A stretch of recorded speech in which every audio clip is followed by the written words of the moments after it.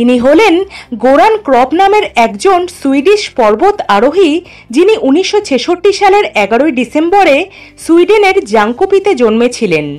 উনিশশো বাহাত্তর সালে মাত্র ছ বছর বয়সে তার বাবার সাথে স্ক্যান্ডেনেভিয়ার সর্বোচ্চ শৃঙ্গ গলধোপিগেন আরোহণ দিয়ে তার প্রথম এক্সপেডিশন শুরু করেন তিনি।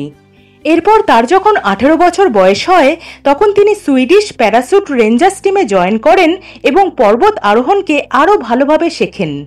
এরপর তিনি বহু উঁচু পর্বত আরোহণও করেছিলেন।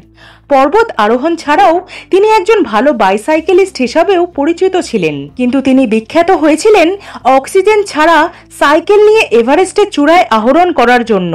উনিশশো ছিয়ানব্বই সালে সুইডেন থেকে তিনি যাত্রা শুরু করেন সাইকেলে। আর এরপর প্রায় তেরো হাজার কিলোমিটার পথ অতিক্রম করে তিনি নেপালের এভারেস্টের বেস ক্যাম্পে এসে পৌঁছান। উনিশশো ছিয়ানব্বই সালের তেসরা মেতেই তার এভারেস্টে ওঠার কথা ছিল। কিন্তু খারাপ আবহাওয়ার জন্য তাকে অপেক্ষা করতে হয়। শেষ পর্যন্ত উনিশশো ছিয়ানব্বই সালের তেইশে মেতে তিনি কোনো শেরপা এবং অক্সিজেন ছাড়াই সাইকেল নিয়ে এভারেস্টের শৃঙ্গে সফলভাবে আহরণ করেন।